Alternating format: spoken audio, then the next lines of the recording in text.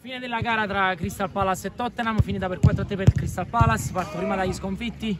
Vittorio, bellissima prestazione la vostra, forse il pareggio era più che giusto, avete giocato bene, forse in secondo tempo avete mollato un po', si è sentita la stanchezza, il cambio che purtroppo non, non avete potuto fare sì. perché Michelino si è fatto male, ha inciso secondo me sulla gara, perché siete arrivati un po' più molli, però alla fine la risolve un ero gol degli avversari.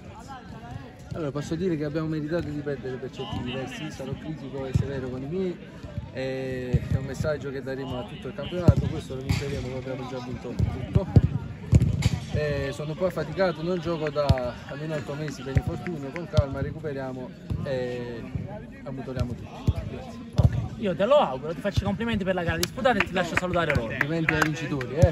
Complimenti ai vincitori. Siamo qui con un altro migliore in campo, De Pasquale, che diciamo hai fatto un ero gol, uh, due gol i tuoi totali, che comunque sono serviti alla squadra, hai aiutato molto a centrocampo.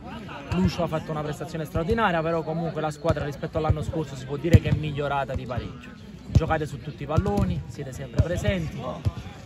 Che obiettivi avete per questo torneo?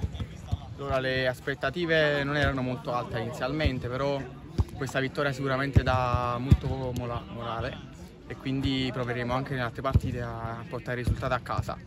Uh, abbiamo fatto una partita grintosa, di cuore, abbiamo su ogni pallone fino all'ultimo e fortunatamente grazie al mio gol abbiamo portato a casa la vittoria.